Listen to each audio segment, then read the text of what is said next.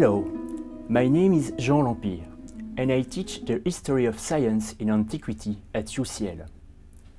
This week, together with three of my colleagues, we'll introduce you to the fascinating world of heavenly cycles.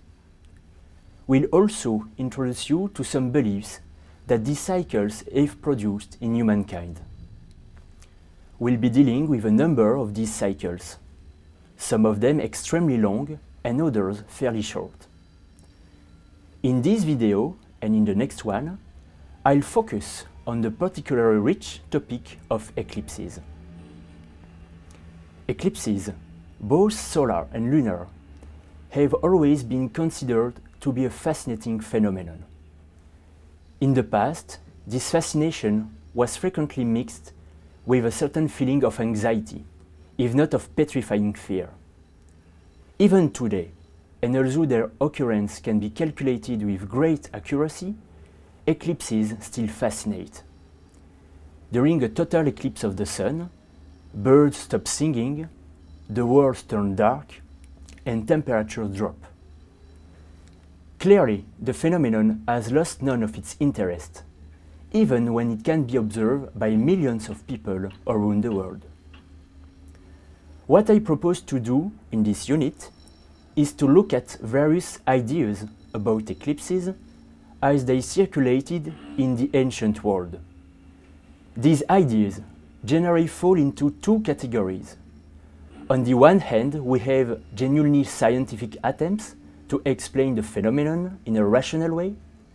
On the other, we have what can best be defined as sheer superstition. I'll begin with the latter category, which is definitely the most fun. In the next unit, we'll look at some rational and scientific explanations. In the ancient and medieval worlds, eclipses generated many widespread superstitions. It was generally believed that the disappearance of the moon or the sun was caused by the interfering presence of an opaque body in the sky. Or the cause was thought to be the, the intervention of a demon or a genius threatening the sun or moon that required specific rites or magical formulas to be driven off. As you can see, we are not quite done with the demons of the other week yet. In ancient Rome, for instance, it was common practice to bring back the overshadowed images of the sun or the moon by shouting or playing trumpets or other noisy instruments or by lighting torches in the direction of the missing luminary. This tradition goes back to very ancient Roman practices. In various societies of Europe and Asia, the demon capturing the sun or the moon was usually a dragon. In Indian cosmogonic traditions, as reported in the Mahabharata, a famous Indian epic poem written in Sanskrit, this demon is called Rahu. Rahu develops a fierce hatred toward the sun and moon and wants to devour them both. His head is named Rahu, while his tail is named Ketu.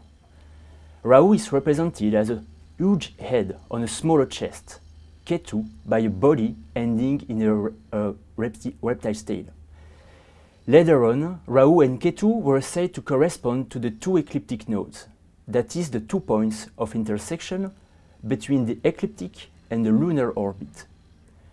The close position of the Sun and Moon to these ecliptic nodes is a necessary condition for eclipses. With the expansion of Buddhism, this belief in the demon Rahu and Ketu spread more widely. It was even incorporated into Chinese astrology under the names Luowu and Jidu in modern Chinese. In the Indian tradition, Rahu and Ketu are also regarded as authentic planets. In Syriac literature, we find manuscripts that refer to a belief that eclipses occur because a celestial dragon or snake stands up between the sun and the moon, with its head or tail overshadowing one of the two luminaries. This belief was still widely held in the 7th century CE. In these traditions, this celestial monster is often called Atalia. This dragon of eclipses may have derived from the development of a cosmologic idea from late antiquity relating to the Ouroboros, or tail-biting serpent. The Ouroboros is a symbol already found in ancient Egypt and in Mesopotamia. It represents a snake surrounding the orderly and perceptible world and separating it from chaos. The name head and tail, which is used for the ecliptic nodes, may also be found in other ancient cultures, even if the actual belief in the dragon had long disappeared.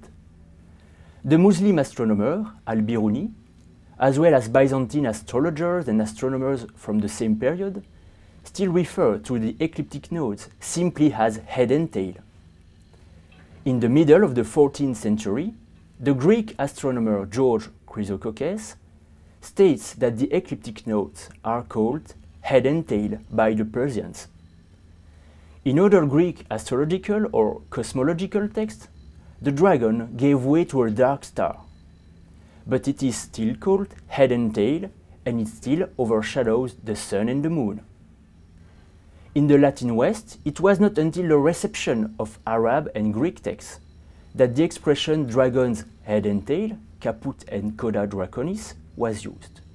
This is the case in the astrological corpus of the Alchandreana in the 10th century, or in the work of the astronomer John of Sacrobosco in the 13th century. Just as with the appearance of a comet in the sky, eclipses have generally been regarded as phenomena announcing an adverse event the death of a king, a war or a defeat, a famine, an epidemic, infertility of the soil of, or of animals, and so on. Political and military events are also reported to have been influenced by eclipses. For instance, it is reported that on the eve of the Battle of Arbeles in 331 BCE, Alexander the Great had to calm his own troops who had panicked during a lunar eclipse. So, what we have seen so far are examples of the way eclipses were interpreted in Greece, ancient Rome, India, and China, as well as in some Muslim territories. To discover some rational explanations of the same phenomena, let's move on to this week's second video.